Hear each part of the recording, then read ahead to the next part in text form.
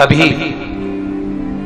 अगर तुम्हारे जीवन में अगर कभी तुमको ऐसा लगे कि रोग बड़ा भारी हो चुका है और बहुत भारी रोग मुझे घेरता जा रहा है या डॉक्टर को दिखाने जा रहे हो तुम्हें ऐसा लग रहा है कि डॉक्टर कोई बड़ी बीमारी बताएगा तो उस समय पर शीतल आरती का प्रयोग करें। एक पुष्प हाथ की हथेली में रख लीजिए। एक पुष्प हाथ की हथेली में रख लीजिए। और यहाँ तक शास्त्र कहता है अगर हो सके। श्री शिवाय नमस्तुभ्यम मित्रों वीडियो को लाइक करें कमेंट करें चैनल को सब्सक्राइब करें और घंटी को ज़रूर दबाएँ ताकि आगे आने वाले वीडियो का नोटिफिकेशन सबसे पहले आप तक पहुँच सके। तो आंकड़े का अगर पुष्प मिल जाए तुम्हारे यहाँ क्या बोलते हैं उसको? मंदार का फूल। आंकड़े का फूल। अकौए का फूल, जो शंकर भगवान पे चढ़ता है, छोटा सा होता है घुंगरू जैसा होता है वो, उसको तुम्हारे यहाँ क्या बोलते हैं हरियाणा में? आग का ही पुष्प बोलते हैं।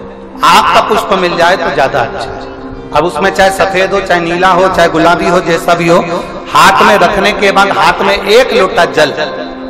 भगवान शंकर के शिवालय में जब आप प्रवेश करें और प्रवेश करते समय भगवान के सम्मुख में जब भगवान शंकर के साक्षी में जब पहुँचे, आपके सामने पूजन में कोई भी सामग्री नहीं है। आपके पास में न दिया है, ना बाती है, ना गर्भवती है, ना चंदन है, ना कपूर है, ना कोई सामग्री है। केवल एक आँख का पुष्प और एक लोटा जल आपके पास में है। शिवालय में पहुंचकर शीतल आरती का प्रयोग करो।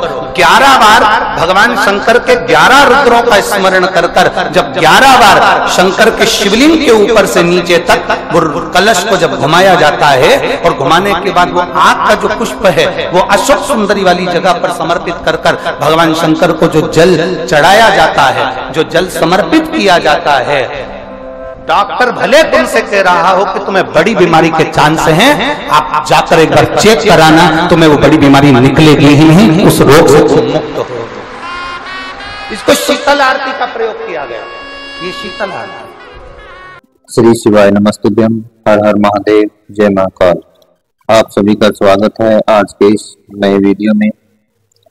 मित्रों, आप सबको पता है, मैं हमेशा गुरु जी, पंडित प्रदीप जी मिश्रा द्वारा बताए हुए उपाय आपके लिए लेकर आता हूँ और उन उपाय को अच्छी तरह से आपको समझाने की कोशिश करता हूँ। इसी क्रम में आज का यह उपाय है। वैसे तो आपने इस उपाय को गुरु जी से सुन लिया है। इस उपाय को कैसे करना है? एक पुष्प आग का पुष्प और एक कलश पानी से, एक लोटे पानी से यह उपाय आपको करना है। कैसे करना है, ये आपको गुरुजी ने बता दिया। अभी मैं आपको बताने वाला हूँ कि आपको भगवान शिव के कौन से ग्यारह रुद्र का नाम लेना है। यह उपाय करते समय आपको महादेव के ग्यारह रुद्र का नाम ज़रूर लेना है। तभी ये उपाय सफल होगा। इसलिए मैं आपको आज उन ग्यारह रुद्र के नाम बताने जा रहा हूँ। सबसे पहला नाम है कपाली। दूसरा है पिंगल। तीसरा है भीम। चौथा है वीरुपाक्ष।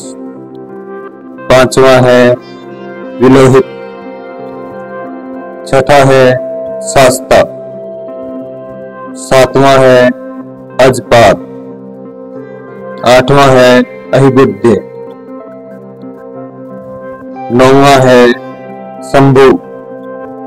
दसवां है चंड और ग्यारहवा है भव। इन ग्यारह रुद्र का नाम लेकर आपको भगवान शिव को जल समर्पित करना है, तभी आपका यह उपाय सफल होगा। मित्रों अगर वीडियो अच्छा लगा तो वीडियो को लाइक करें, कमेंट में महादेव का कोई भी प्यारा सा नाम ज़रूर लिखें। आज की वीडियो में इतना ही। मिलते हैं किसी अगली वीडियो में। श्री शिवाय नमस्तुभ्यम।